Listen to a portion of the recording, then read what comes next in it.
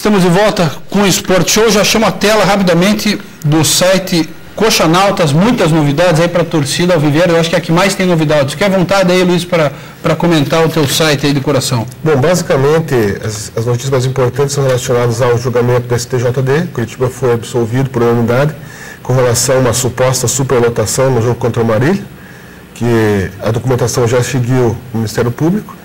Com relação também a, ao novo é, gerente de futebol, que é o Tonico Xavier. Conhece o Tonico? Não conheço, não lembro dele, mas eu, a história dele ele começou em 68, na época do Viale também, com o Evangelino, que o Evangelino lançou essas pessoas, né, essas figuras no futebol.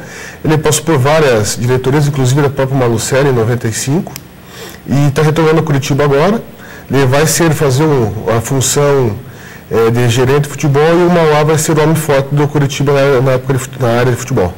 Tá, me diga uma coisa, o...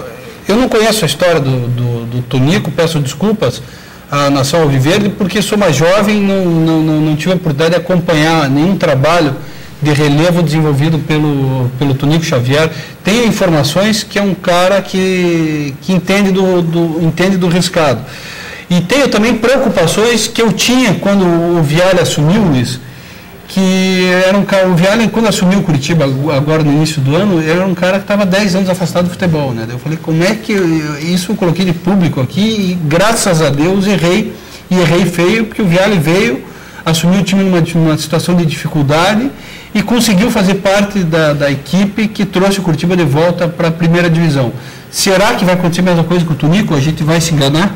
É, eu vejo assim, na Viale... Você informações, alguma recebi, coisa? A gente já conversou ontem, na verdade, eu, eu, vejo assim, o Viale cometeu os erros dessa fase de transição, até porque ele ficou muito tempo afastado, tanto é que ele trouxe uma cunha. Mas depois ele conhece do futebol e, e esse, esse conhecimento que ele tem favoreceu ele montar um time, trouxe bons jogadores, o time foi consistente e subiu. Ele entende futebol, assim como o Mauá entende, o Mauá também vai ter essa dificuldade de uns dois, três meses nessa transição, assim como terá o Tonico. Né? O que eu vejo, que o, o, o ponto principal agora é que eu estou observando essa busca da união, porque o Tonico estava na chapa do Muro, foi convidado pelo Mauá, é, e eu acho que é importante o clube ter essa tranquilidade política para começar o trabalho do Campeonato Paranaense e da Copa do Brasil começa em fevereiro. E daí a gente vai avaliar, eu acho que ele vai precisar ter um assessoramento bastante grande na comissão técnica, né?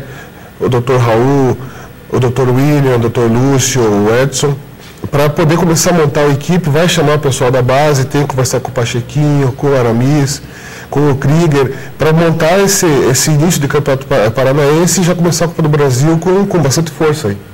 Entendi. E a contratação do Dorival Júnior?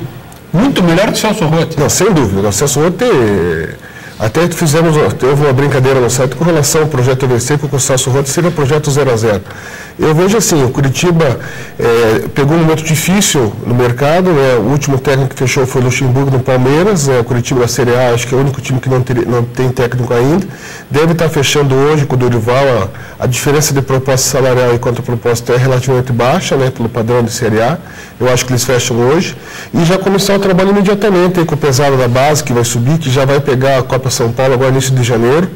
Tem uma pesada boa aí, né? principalmente na parte de defesa, nos volantes, nos laterais, o lateral direito é um bom jogador. E eu acho que já começa a montagem desse time para o Paranaense, que dia 20 já tem clássico aí no Atletiba. Dia 20 já tem clássico é, E o pessoal está ansioso para jogar com o Atlético na, na, no Couto. É legal. Primeiro quero, quero agradecer vocês aí, a gente só vai, a gente só vai agora se ver depois, do, nos ver depois do, do Natal. Quero desejar um Feliz Natal a vocês, todos, Stevens, Luiz, Marcel, obrigado aí pela parceria, né, a família de vocês, externem os nossos, os nossos cumprimentos. E acima de tudo, estamos juntos. Estou muito feliz com essa parceria nossa, eu acho que é mais um, eu quero que vocês venham para o nosso time para ajudar a gente a fortalecer ainda mais o futebol do nosso estado. Obrigado e ano que vem com bastante atividade para essa piazada aí que curta a internet para acompanhar a gente. Exatamente. A gente vai melhorar, uma parceria que está começando, a gente quer ter, né, quer ter bastante, vão ter prêmios aí para sortear para a piazada, é, o Orkut, a gente quer participar, então vocês já vão pensando em formas aí de a gente, é, de a gente convergir em busca do mesmo ideal, claro, cada, claro, cada um defendendo o seu time, mas em busca, acima de tudo, um futebol paranaense mais forte. De noite falamos lá, com certeza. Tá? Tamo junto, Luiz, obrigado mais uma vez pela participação, com certeza. Até mais. Valeu. Um abraço, até amanhã, o programa Esporte Show continua.